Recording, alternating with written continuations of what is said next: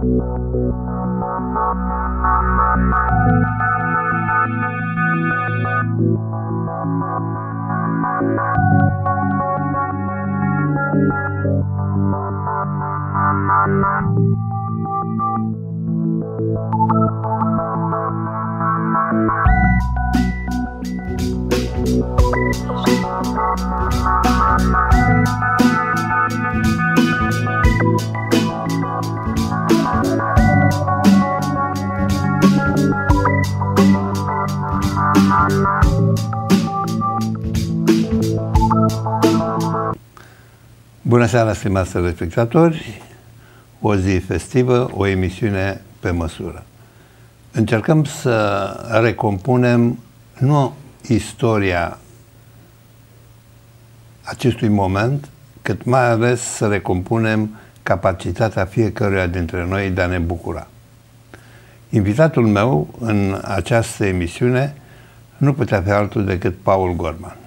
Paul, îți mulțumesc că ai acceptat invitația în ziua ta liberă. Cred că... Eu îți mulțumesc că m-ai invitat. Că Bianca nu are ceva împotrivă? Nu. Nu. Ai un copil uh, foarte reușit și foarte înțelegător. Eu, dacă aș fi copilul tău, n-aș suporta aceste ieșiri ale tale în decor. Paul, Da. Cât de decentă poate fi descăț- descătușarea de bucurie? Descătușarea de bucurie. Păi cred că mai puternică e bucuria decât descătușarea, pentru că descătușarea înseamnă o descărcare până la urmă, dacă vrei, eu știu, a sentimentelor, a emoțiilor și poate o descărcare necontrolată. Pe când bucuria poate fi controlată, poate fi deruită. Da, exact această, această dăruire uh, în ultimul timp, și când spun în ultimul timp, uh, spun în ultimii 40 de ani, uh, ne-a făcut să fim cât se poate de precauți. Tu crezi că iubirea actuală este o piedică în calea fericirii? Păi e puțin tautologică situația. Dacă iubirii, a priori că este și fericirii. Nu, tot timpul. Un om care iubește este un om fericit. Dar un om care iubește poate să și urască în același timp. Funcție de conjunctura în care este plasată află. iubirea. Da. Totuși rămân la această formulă că iubire fără fericire nu, nu se poate. Da, iubire fără poezie se poate? Asta e deloc, nici nu se discută. Nu, Nu. zic. Unde poezie este iubire și poate dintre aia foarte, foarte, foarte intimă. Hai să încercăm Nu uh, neapărat carnală, în zona asta. să ne amintim că astăzi este ziua Unirii, dar uh, mai toate mijloacele media au tratat uh, evenimentul sub aspectul său uh, astfel de manual. Da, festiv. Uh, Eu te- ți-aș propune să uh, ocolim această abordare și să devenim cât se poate de deschiși. Să ne imaginăm că unirea între două ființe este de fapt suma tuturor încercărilor reușite sau nereușite, dar toate care conduc, duc spre, un, spre această capacitate de a visa. Tu crezi că unirea se poate face și fără vis? Fără vis, adică fără idealuri. Nu, fără vis. Sau fără stare de visare. Exact, da. Adică în sensul, ceea ce spuneam eu înainte, acea descătușare a bucuriei. Nu se face, nicio unire nu se poate face fără vis. Pentru că visurile până la urmă proiectează în ființa noastră anumite așteptări și anumite reacții. Și atunci când iubești cu adevărat, trebuie să și visezi.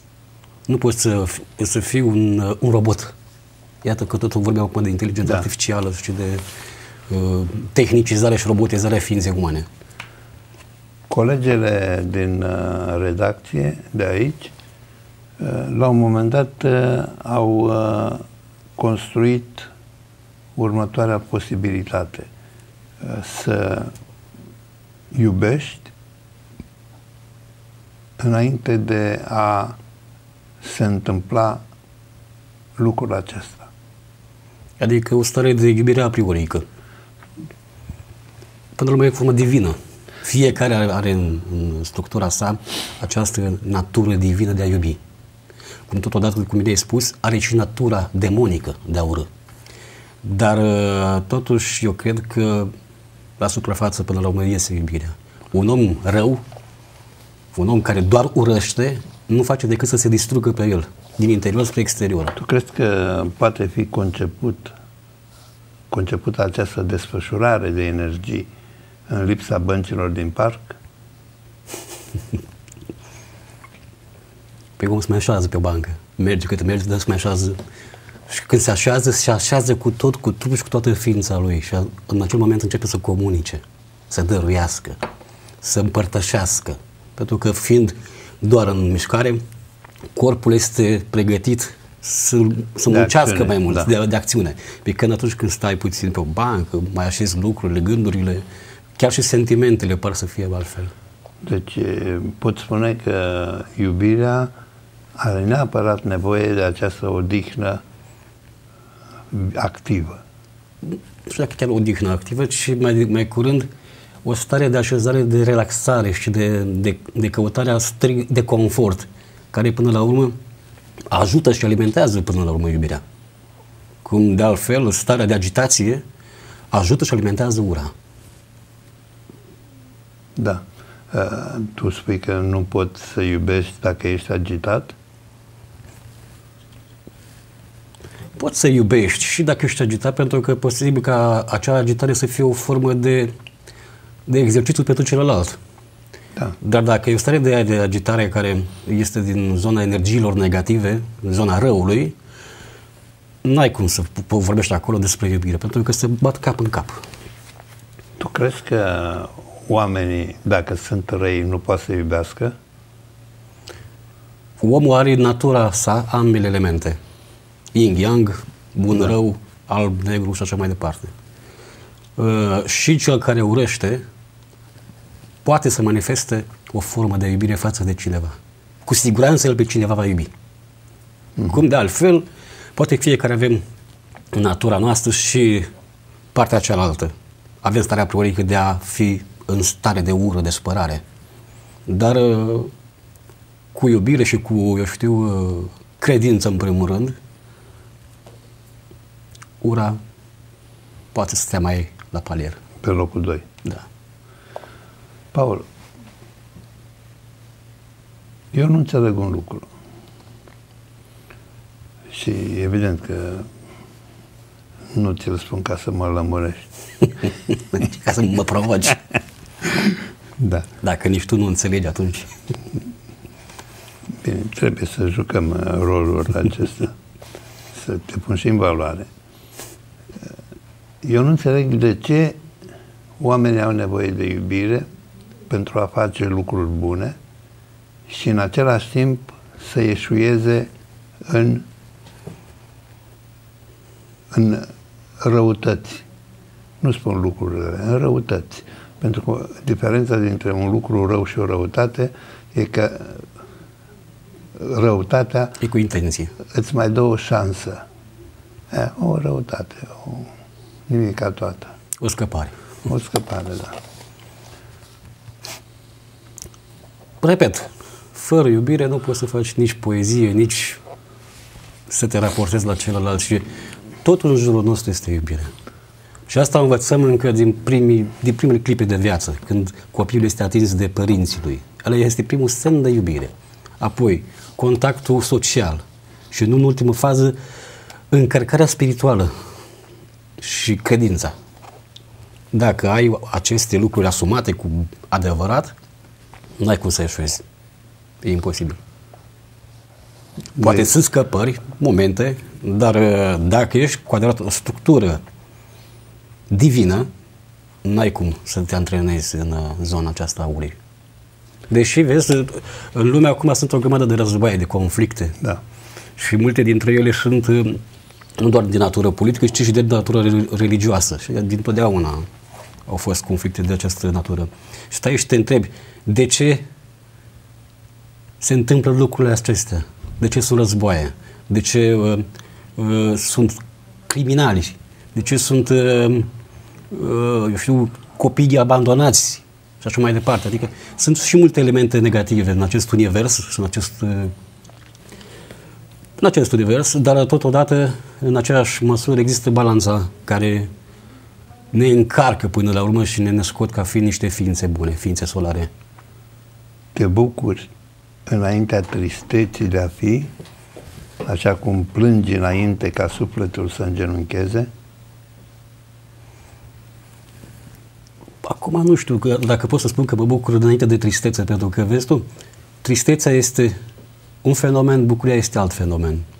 Ele nu se pot, uh, nu pot fi în același timp. Uh, Dar uh, prefer mai mult să mă bucur decât să fiu un om trist. Pentru că bucuria la rândul, la rândul ei îmi încarcă starea de spirit. Deci- Și mă face bun pentru celălalt de lângă mine. Uh, Deci, e, deliberat ești un fals. nu sunt fals, mă bucur. Și dacă nu îți vine să te bucuri și e, tristețea te cotropește, cum ne cotropește și tristețea la un moment dat, pentru că nu poți toată viața să zâmbești. Adică e normal. Și poate pe de o un parte... telespectator ți-a trimis uh, Așa, și poate că pe, uh, pe de o parte tristețea până la urmă îți dă o putere și te face mai... Da. Dar ce transferi? Te, te, spune dacă Am venit de afară de la rece aici la cald și... Spune dacă ești prea dur. te pun pe tine să pui întrebări.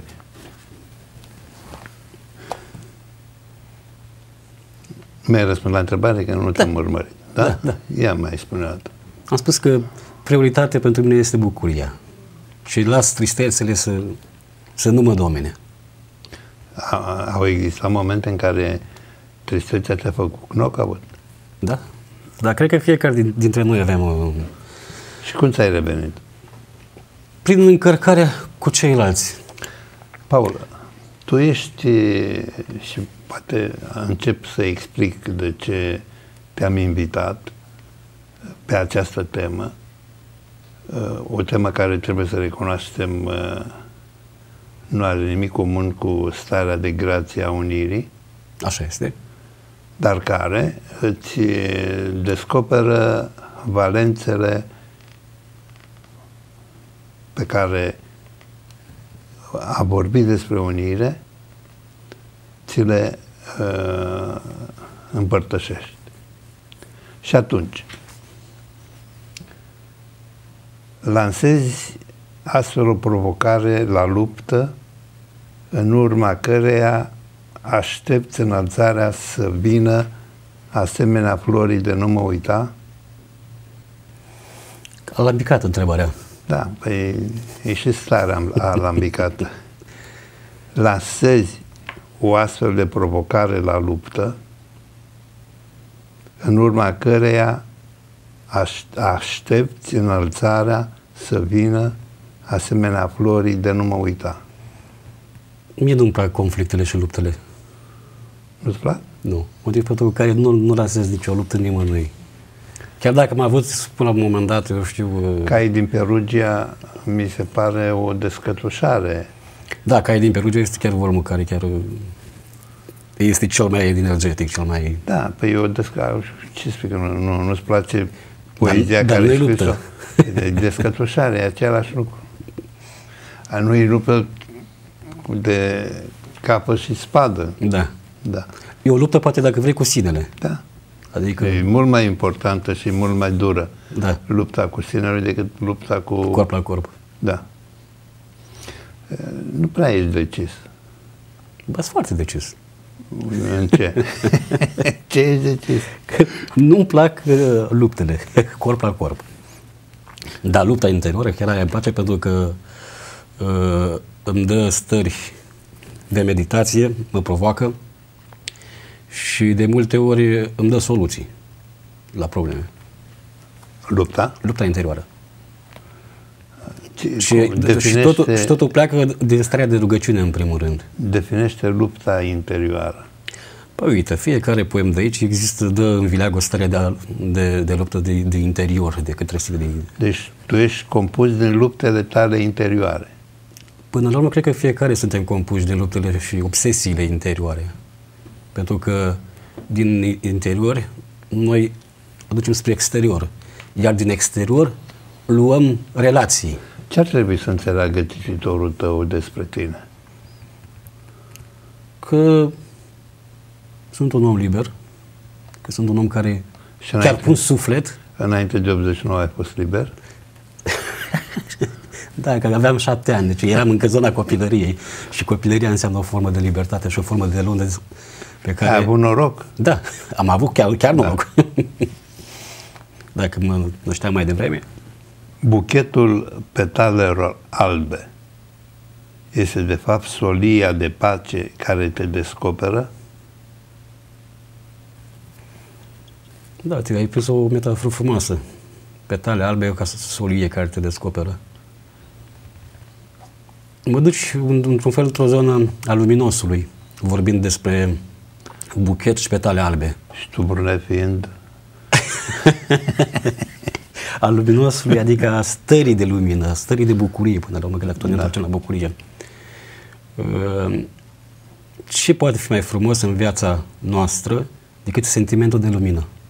Sentimentul ăla, ăla pur, Da. al, al, puret, al, uh, cum spun eu, al copilului nepătat. Tu te-ai regăsit în ceea ce în provocările Biancăi? Da, Ți-ai regăsit copilăria? da. Ea știe? Știi, când ne copilărim, toată ziua. și mai aveam un, uh, un ghem care ne ajută la lucrul ăsta. Un ghem? Un, mot, un motan. Un motan? Da. Cum îl cheamă pe motan? Nichi Frichi. Nichi Frichi? Da. Nichi Frichi. Bianca, eu găsesc numele ăsta. Nici nu poți să te să ai tu pretenția că ai, chiar dacă l-ai fi găsit tu, Da. e un lucru confiscat de Bianca. Nimic din ceea ce ne înconjoară nu seamănă ochilor tăi iscoditori?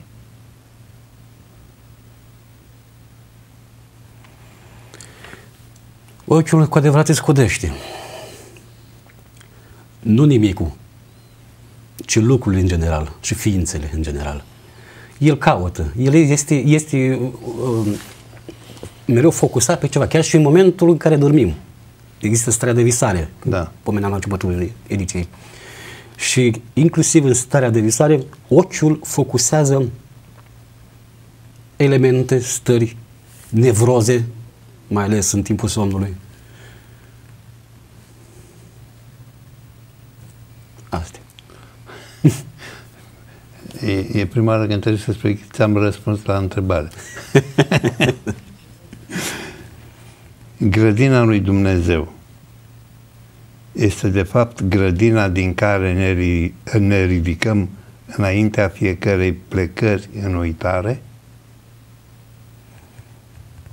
Grădina lui Dumnezeu eu aș vedea-o ca un loc în care putem fi cu toții cu adevărat ființele ale lui Dumnezeu. Pentru că ieșit din grădină și lumea a ieșit din grădina lui Dumnezeu, se văd ceea ce spuneam mai, mai devreme, războaie, conflicte, pandemii și- și alea apar așa peste noapte, nu? Da. La noi așa au apărut, da. Bun, și răspundem la întrebare. Păi ți-am răspuns. grădina din care ne ridicăm înaintea fiecărei plecări în uitare. Se întâmplă de multe ori să mai plecăm prin uitare. Și șansa aceasta de a te regăsi în grădină chiar îți dă o stare de ridicare, de înălțare. Este cu adevărat starea aceea a Universului și a... Biserica ne învață de, des de lucrul, ăsta, lucrul acesta, că există o grădină, există un Eden. și un, uh, o grădină cu adevărat dumnezeiască în care cu fiecare ne putem regăsi sau ne putem întâlni în acea grădină. Da. Hai să vedem dacă ai găsi un vers în poezia ta care să te definească. Un vers? Da.